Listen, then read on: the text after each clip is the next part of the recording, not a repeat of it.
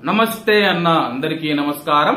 Kuwait parliament speaker Ahmed Al Saadoun గారు cabinet మంత్రులందరికీ recruitment కాంట్రాక్టుల ద్వారా నియమించబడిన వారితో సహా మంత్రిత్వ శాఖలు మరియు కార్యాలయాల ద్వారా ఉపాధి పొందుతూ ఉన్న మొత్తం ప్రవాసుల సంఖ్య గురించి వివరాలు కోరుతూ ఆయన ప్రశ్నలు పంపారు.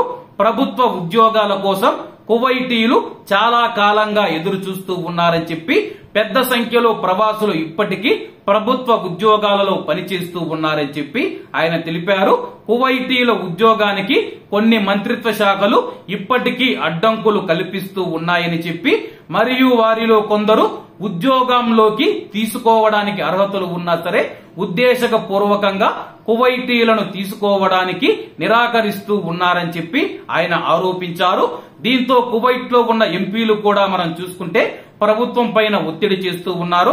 దీంతో రాబోయే రోజుల్లో వేల మంది ప్రవాసులు ఉద్యోగాలు కోల్పోనున్నారని చెప్పేసి కువైట్లో ఉన్న నిపుణులు తెలుపుతూ ఉన్నారు.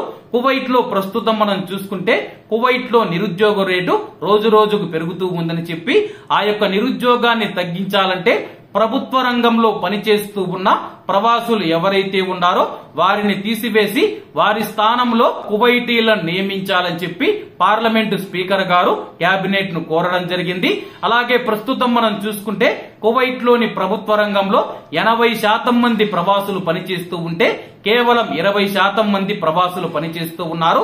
అలాగే ఈ యొక్క ప్రవాసులు కూడా కువైట్కు ఉపయోగపడే అవసరమైన రంగాలైన టీచర్ గాని లేకపోతే డాక్టర్లు గాని ఇంజనీర్లు గాని ఏవైతే వాళ్ళకు ఉపయోగపడే రంగాలలో పనిచేస్తూ ఉన్నారు.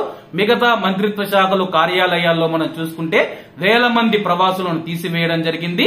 దాదాపు రెండు వేల ఇరవై రెండు వేల ఇరవై ఒకటిలో మనం చూసుకుంటే రెండు లక్షల యాభై వేల మంది ప్రవాసులు కువైట్ దేశంను వదిలి వెళ్ళిపోయారని చెప్పి తాజా సర్వే తెలిపింది.